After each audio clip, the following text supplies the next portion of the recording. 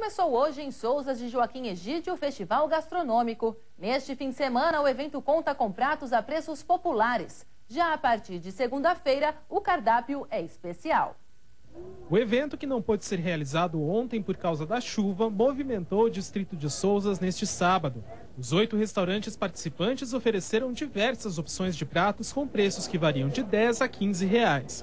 Para quem participa da organização, essa é uma oportunidade para também confraternizar. Além de agradável, né, gastronomicamente, com, com os shows que, que nós uh, temos também em quase todos os eventos que nós fazemos aqui na praça, mas é levar uma boa gastronomia a preço acessível para um público que muitas vezes não tem essa oportunidade. Além de comemorar a primavera, o Festival Gastronômico celebrou os 120 anos da pedra fundamental da Paróquia Santana.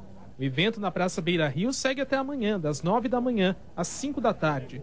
Depois, o Festival Gastronômico segue nos restaurantes participantes, que a partir de segunda-feira vão oferecer um cardápio especial de primavera por R$ 55,90.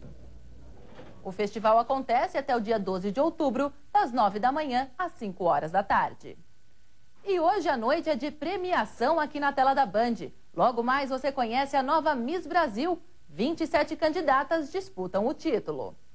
O evento acontece no Ceará e será transmitido ao vivo com exclusividade pela Band às 10h15 da noite. A vencedora vai representar o país no Miss Universo 2014 e leva para casa a tão desejada coroa, o vestido de gala e um carro zero quilômetro.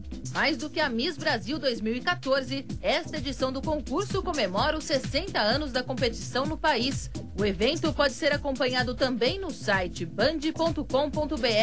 A apresentação será de Renata Fan e André Vasco.